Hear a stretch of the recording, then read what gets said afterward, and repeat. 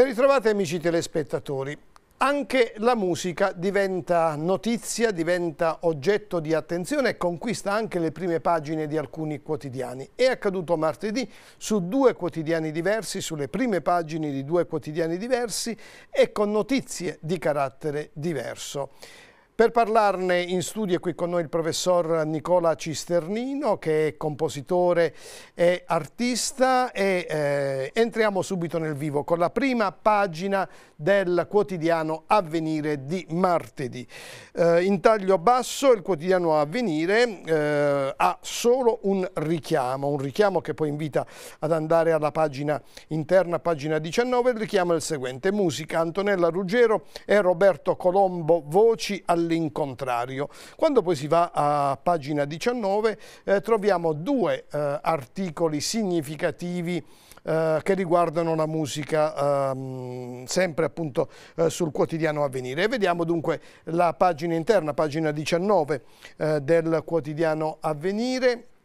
Eccola. E, eh, il primo articolo riguarda proprio quello di cui ehm, il richiamo in prima pagina ci ha anticipato qualcosa. La cantante, parliamo di Antonella Ruggero, e il marito sfidano il mercato con un'opera d'arte multisensoriale. Questo è quanto viene scritto nel, ehm, nell'occhiello eh, dell'articolo intitolato Ruggero e Colombo Voci all'incontrario, articolo firmato da Massimo Iondini. Quindi la cantante, la cantante e il marito sfidano il mercato con un'opera d'arte multisensoriale, suoni e immagini all'insegna della poesia in quest'epoca così cinica e violenta. Altre vie è il nuovo album della coppia con i, i brani di Libera, eh, l'album del 1996, rivisitati e con una novità significativa di cui parleremo tra poco con il nostro ospite, la tecnica del reverse.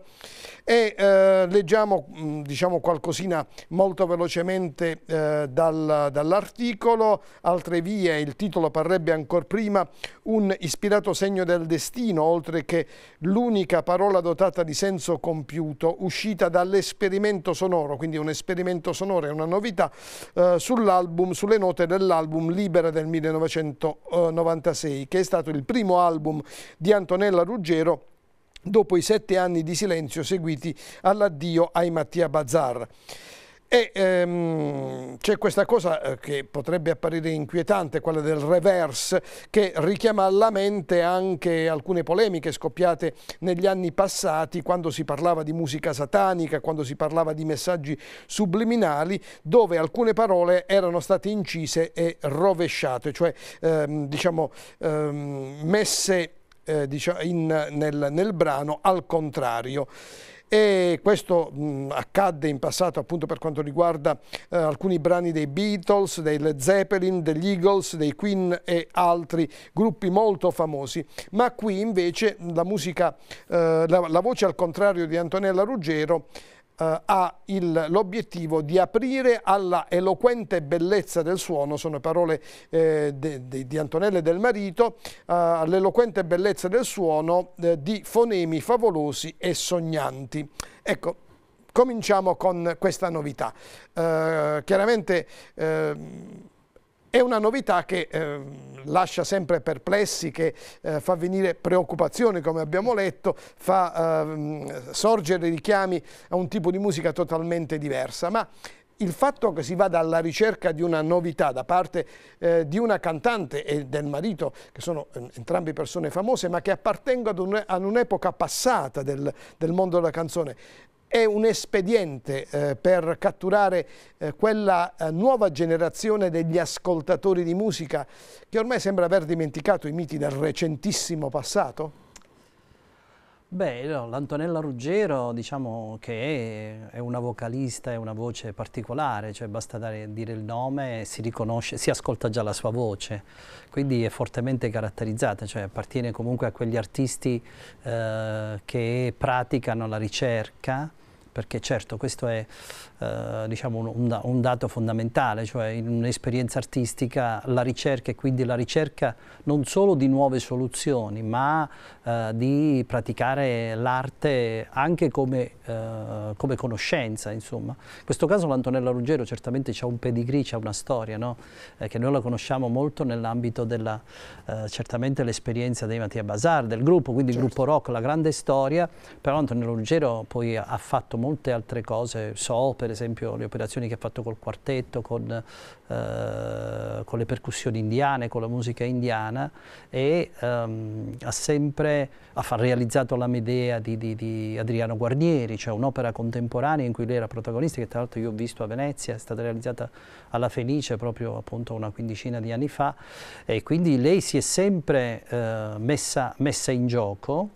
È interessante credo come operazione, quindi al di là del fatto della tecnica le trovate perché è chiaro che la matrice è questo di mettere al centro la voce, ecco, non si parla di canzoni ma si parla di operazioni con la voce, questo, questo è molto interessante. Che la è voce la materia che diventa prima. suono. La, perché la voce è un suono, la voce è il primo, è il primo suono. Quindi discorsi sono estremamente complessi, però nella musica diciamo di, di diffusione, no? qualcuno dice la musica leggera oppure la chiamiamo la musica popolare, ecco. comunque nella musica che noi ascoltiamo quotidianamente, la musica che è un po' intorno a noi, che non è la sola musica, che naturalmente adesso è degradata molto, bisogna dire, negli ultimi anni, il, il, discorso che facevi tu Stefano, in riferimento alle generazioni, no? è molto legato al fatto di un marketing che ha preso eccessivamente il sopravvento. E lo denuncia anche Antonella Ruggero nel, appunto, appartiene a questa ricerca, cioè il prodotto, il prodotto industriale che naturalmente è stato sempre più scarnificato della sua ricerca autentica, eh, diciamo una ricerca artistica che poi può dare dei risultati ma anche può non darli, cioè, molte volte sono più le, eh, i fallimenti che le, le riuscite, ma certamente è un prodotto che tende ad essere originale anche quando è di tipo industriale o comunque che appartiene a un'industria come quella della musica, eh, porta dei frutti. È un, è un problema grandissimo eh, perché bisogna dire che l'industria discografica, l'industria discografica eh, paga uno scotto enorme, perché nel passaggio dall'analogico al digitale negli anni Ottanta, in realtà bisogna dire che tutta l'industria discografica, sia quella di largo consumo, quindi la musica rock, della musica, diciamo la musica popolare, eh, la musica leggera, quello, ma anche della musica classica, è vissuta solo ed esclusivamente di riprodurre, di portare in digitale ciò che aveva eh, negli anni 70, negli anni 60, poi parliamo del patrimonio poi della musica classica. Questo ha fatto in modo che l'industria discografica in realtà non ha prodotto ha poco sviluppato ricerca e le grandi major infatti si sono trovate completamente inghiottite dopo, si sono mangiate loro stessi perché il loro business era fatto solo su questo passaggio dall'analogico al digitale e si è andata avanti per troppi anni. Quindi anche l'industria perché parliamo di questo, certo. quando parliamo di questa musica che in qualche modo è legata all'intrattenimento, come si dice, no? ci riempie un po' le giornate, che comunque è, è, è una musica sempre eh, di grandissima... Eh, nelle, nella, nella, nelle vie della ricerca, cioè di grandissima, di grandissima qualità, tende a valorizzare poco l'originale, ha sempre valorizzato più il prodotto di massa fino al punto che poi il prodotto di massa ha livellato tutto. Questo parliamo anche in termini proprio, proprio di suoni. Le tecnologie hanno standardizzato enormemente addirittura il nostro ascolto, eh, perché noi siamo abituati adesso ad ascoltare sempre quasi le stesse cose, gli stessi suoni, per esempio le percussioni, la batteria, ascoltiamo sempre quel click che poi ci piace sempre di più perché non ne abbiamo ascoltati altri, cioè abbiamo perso un po' il gusto della differenza che è dato solo dalla ricerca attiva. In questo caso Antonella sta facendo un progetto, un, è un progetto interessante perché comunque si spende sempre sul terreno della, della ricerca, così anche come quella della, dei tre artisti del volo, no? della vocalità che viene riportata Nel nella stessa pagina. pubblicato appunto nella stessa pagina. Pubblicata nella stessa pagina, vediamo che c'è questa ricerca. Ecco, anche lì sulla voce, no? di rimettere al centro la voce, e eh, cercare di creare, tra virgolette, prodotti nuovi. Artisticamente sarebbe da dire creazioni nuove, no? Ne abbiamo un grande bisogno perché l'industria stessa, che significa anche lavoro, che significa attività, che significa economia, ma non solo profitto fino a se stessa, ha bisogno di creare degli originali. Chiaro. Se non crea degli originali non ha nulla da copiare dopo. Quindi anche la riproduzione, l'industria della riproduzione alla Benjamin, no? della riproducibilità tecnica, noi possiamo riprodurre qualcosa di qualità solo se abbiamo prodotto degli originali. Stesso problema che abbiamo nell'industria delle autoveicoli, se non abbiamo le Ferrari, se non abbiamo dove sperimentiamo, è chiaro che noi non possiamo avere nessuno. Un po' nell'ambito della musica si assiste a questo e le generazioni giovanili non c'è dubbio che con la diffusione spaventosa delle tecnologie velocissima che c'è stata, che ormai ingoiano tutto, tritano tutto, non sono più allenati, cioè anche se si cercano delle, si cercano, e ci sono, ci sono fortunatamente tanti gruppi giovani, emergenti, c'è ancora tanta musica, però, però eh, diciamo quello che passa è, eh, sono prodotti sempre più scarnificati, livellati, omologati, algoritmizzati, perché l'algoritmo nella musica esiste da, esiste da molto tempo, insomma. Ecco però, mentre il volo e eh, se la regia ci rimanda in, onda la eh, pagina interna di Avvenire, leggiamo anche il titolo dell'articolo che riguarda eh, questo nuovo album del volo intitolato Ad Astra, eh, nel quale eh, questi tre tenori eh, si cimentano in un difficile tentativo, ma la loro abilità forse lo renderà meno difficile, di coniugare, ecco lo vediamo in basso rispetto all'articolo precedente, ehm, difficile tentativo di coniugare il passato, cioè la grande tradizione della musica lirica, con la musica popolare, con un pizzico di novità perché sono tutti brani inediti scritti appositamente Infatti, per loro. Superano la cover, no? il fatto di riprodurre ciò che è già esistente, quindi cominciano a produrre delle canzoni nuove, a creare delle canzoni nuove, con questa tecnica sì, in cui naturalmente viene messa la voce al centro. Se la voce dell'Antonella Ruggero è una voce di sperimentazione che, che appunto va, può andare da, uh, dall'esperienza che so futurista ma anche all'esperienza di Katy Berberian, cioè all'esperienza di, di, appunto di, di una vocalità che eh, non è solo limitata alla parola consolidata del, del, diciamo, del, del fonema linguistico, ma ehm, è questo fatto di ritornare al suono, quindi riprendere questa vocalità che viene dalla tradizione lirica, quindi con la voce, con la voce impostata, con un seguito che hanno enorme. Quindi e qui per esempio si viene, questi sono i prodotti in un certo senso interessanti per esempio della grande intelligenza di Pavarotti che ha avuto. Nel momento in cui si è sempre speso per riportare una dimensione popolare che oggi sarebbe una dimensione pop, cioè quindi con gli strumenti di massa, di largo ascolto, eh, però, eh, portare però quella che era anche l'esperienza diciamo, di ambito lirico e di contaminarsi diciamo così, eh, all'esperienza poi per quanto riguarda la, la, la musica rock. Quindi dietro è chiaro che c'è sempre il mercato, la cattura, la ricerca di pubblico, il dover però anche questa è una continua scommessa di ricerca in un certo, certo senso, certo. in cui deve emergere la ricerca come qualità, e noi sulla voce vogliamo concentrare la nostra attenzione nella seconda parte di Teleobiettivo dopo una breve pausa pubblicitaria. Restate con noi.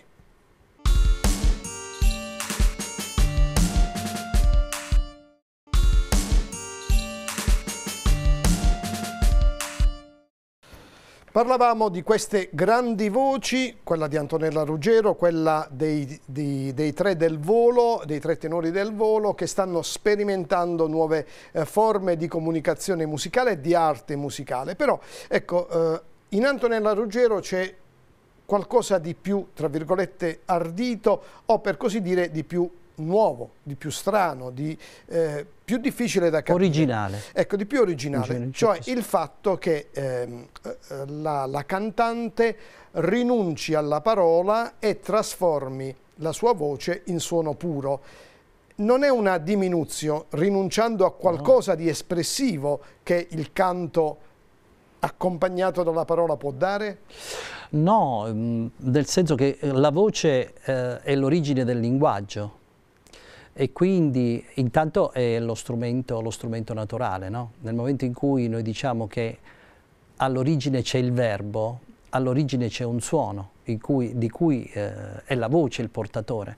Quindi noi nasciamo con questo strumento naturale, non a caso in tutte le tradizioni, in tutte le culture, è la voce che poi viene ad essere imitata da, dagli oggetti sonori, dagli strumenti, dalle, dai gusci delle tartarughe, dalle conchiglie, dagli strumenti, come dire, pri, chiamiamoli primitivi, ai veri e propri strumenti contemporanei, cioè per esempio un registro, gli strumenti ad arco, la famiglia degli archi è costruita su, sui quattro registri vocali, cioè il violino sarebbe un soprano, la viola è un contralto, il violoncello è un tenore, il basso è un contrabbasso, quindi gli strumenti l'uomo li ha costruiti a immagine e somiglianza della voce umana.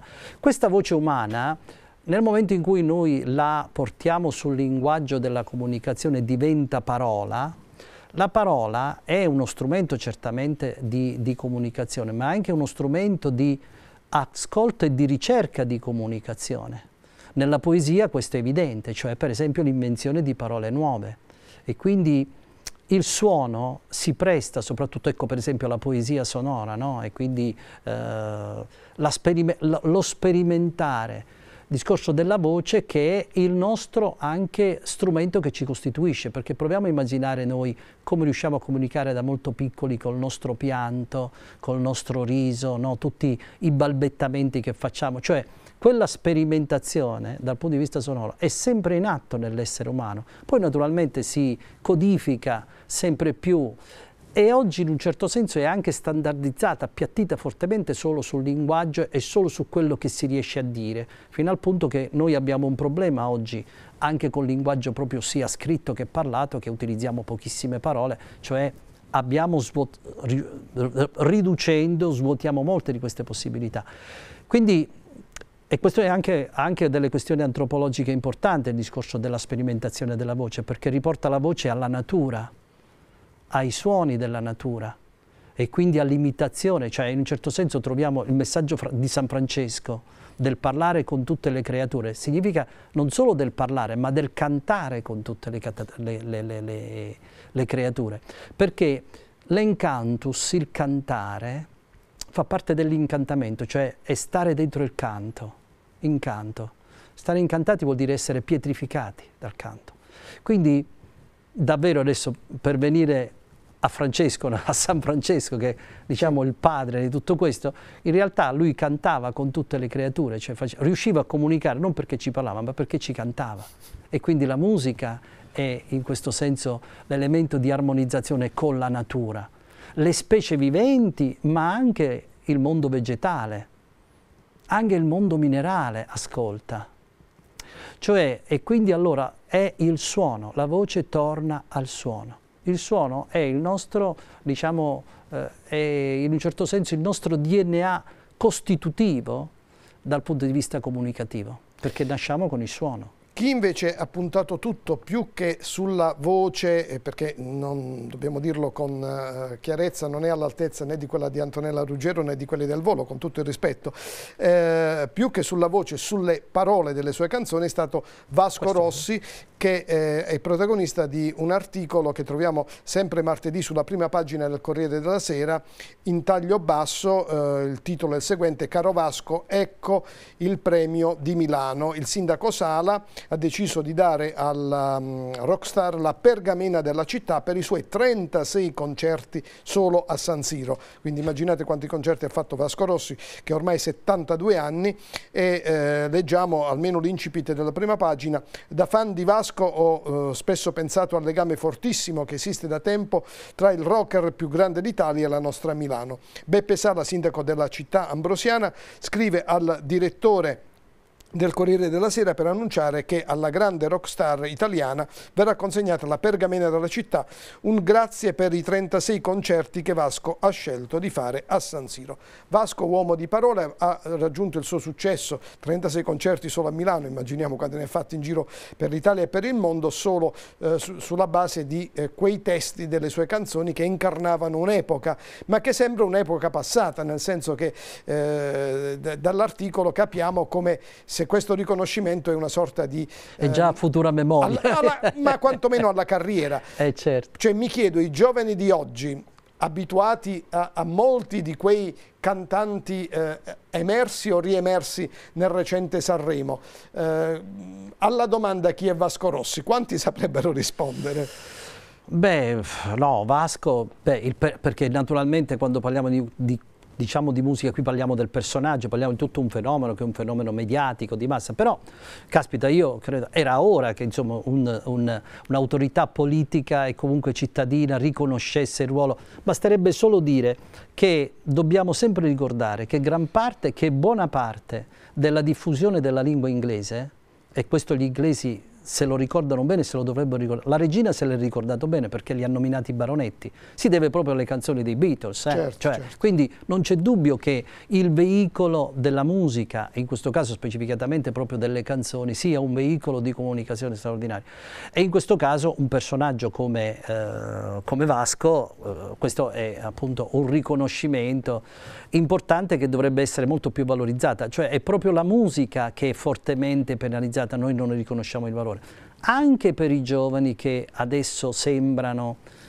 Mm, io, come dire, io mi occupo naturalmente, faccio musica diciamo, che viene da, da, altre direzioni, però sono aperto a qualsiasi tipo di sperimentazione, curiosissimo poi su tutti i fenomeni, soprattutto mediatici e sociali per quanto riguarda il suono e la musica, però per esempio non c'è dubbio che negli ultimi due Sanremo noi abbiamo avuto un grande ritorno della canzone a con degli stilemi riconoscibili. Uh, cioè in che senso? Nel senso che si sono riprese formule che sembrano molto standardizzate, ma in cui la parola è ritornata al centro.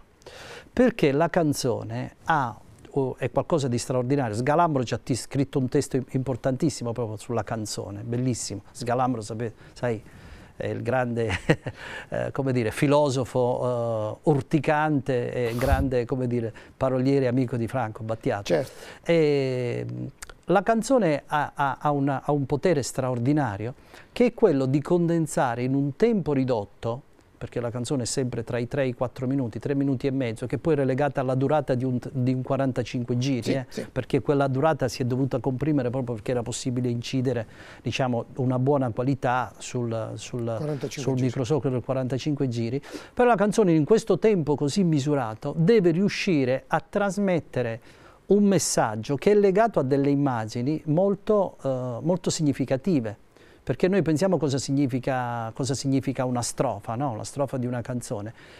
E allora la canzone in realtà in qualche modo è la, la, più, diretta, la più diretta metafora potrebbe essere, o comunque la più diretta associazione con la fotografia perché la canzone sono dei fotogrammi. Sì, sì. E quattro fotogrammi, quattro strofe di una canzone, quattro fotografie ti costruiscono una storia. Questa storia, se è patrimonio comune di una generazione, in qualche modo, attraverso le, le, parole, lo diventa però questo patrimonio comune attraverso il suono, attraverso la musica. Quindi per esempio pensiamo alla complessità e alla straordinarietà, io direi tra virgolette, visto il contesto, miracolosa per esempio, del rapporto Battisti-Mogol. Sì. E non c'è alchimia, non c'è legge che possa spiegare che cosa è accaduto è accaduto qualcosa di incredibile perché lì abbiamo assistito tra l'altro a un'evoluzione dello standard, del format della canzone che non è stata solo una trasformazione, come dire, di forma, è stata una trasformazione antropologica. Nelle canzoni di Battisti noi troviamo, ce ne sono almeno tre, ci sono almeno tre invenzioni, perché la canzone è poi questo, cioè richiede, eh, ci attrae perché è un'invenzione in un tempo molto misurato, eh, di una comunicazione che passa attraverso le immagini, che sono emozioni. Certo. Eh, un'ultima domanda, abbiamo veramente un minuto per rispondere. Eh, citavi gli ultimi due Sanremo, vuol dire che li hai visti. Fra sì, io li seguo, certo. I nuovi cantautori emergenti, vedi qualche futuro Vasco Rossi, qualche futuro Battiato, qualche futuro... Eh, ehm, eh, che, che, li citiamo insieme, Battisti Mogol, vedi qualche futuro personaggio all'altezza di quelli del passato? Beh, eh, io devo dire che ho seguito, um, mi, ha, mi, ha, sempre un po' incuriosito, ma adesso ho trovato Gali è qualcuno che ha un substrato e anche una qualità inventiva, un'invenzione.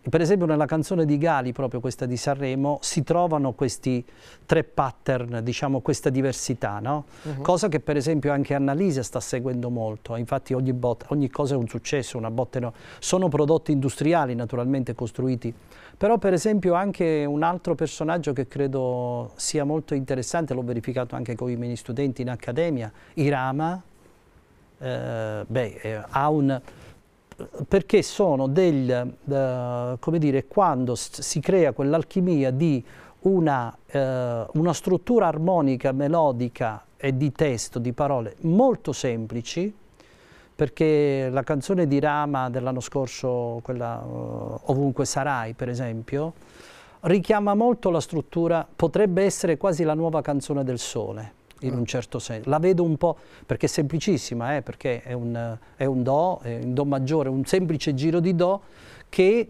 ha, eh, ha una pregnanza, poi soprattutto perché bisogna dire che noi vediamo adesso la musica ha una frontiera nuova, importante, che ha il suo rapporto stretto con l'immagine. Adesso i giovani la musica la guardano, la guardano e l'ascoltano certo, solo su video, YouTube, certo, ecco, certo. sui video. E il video è allora il linguaggio tra virgolette filmico in un certo senso, che non sono più semplici dei jingle o dei... adesso c'è un'articolazione, ci sono registi importantissimi dietro le produzioni video, molto spesso anche più importanti della produzione discografica e, e questo per esempio ha fatto molto la fortuna anche di, eh, dei vari altri, insomma ormai tutti quanti sono molto centrati, molto centrati. Anche sull'immagine. Quindi io vedo positivamente se, che l'industria si sta riprendendo un po' il suo spazio anche di produrre prodotti, tra virgolette, di qualità. Grazie al professor Nicola Cisternino per questa eh, apprezzata e chiara lezione di musica che ci ha fatto capire anche eh, quello che stiamo ascoltando adesso, oltre che quello che abbiamo ascoltato in passato. Grazie anche a voi amici telespettatori per averci seguito anche oggi.